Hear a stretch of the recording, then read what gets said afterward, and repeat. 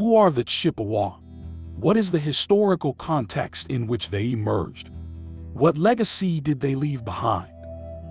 All these questions and more will be addressed in this video.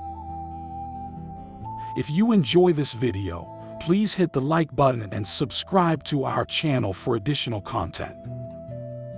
The Chippewa Indians, also known as the Ojibwe or Anishinaabe, are a Native American tribe originally from the Great Lakes region of the United States and Canada. They have rich history and culture, and have played an important role in the history of the Great Lakes region. The Chippewa were primarily a hunting and fishing people, and they were skilled at using the resources of the land and water. They were known for their birch bark canoes and fishing weirs, which were used to catch fish in the Great Lakes. They also hunted game such as deer and bear, and gathered wild rice, berries, and other plants for food.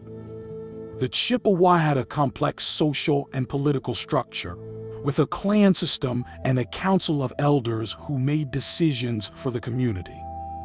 They also had a rich spiritual tradition and believed in a complex system of spirits and powers that controlled the natural world.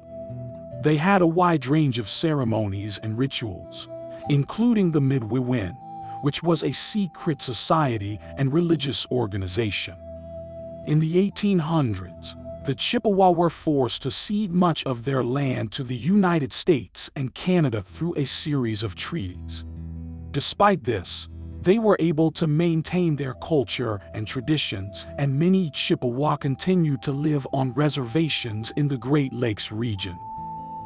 Today, the Chippewa Nation is a vibrant and diverse community, with many members involved in a wide range of businesses, industries, and cultural activities.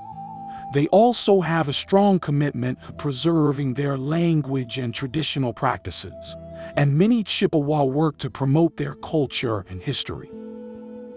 Thank you for watching 2 Minute History. If you enjoyed this video, please hit the like button. You can also view additional content by visiting our channel.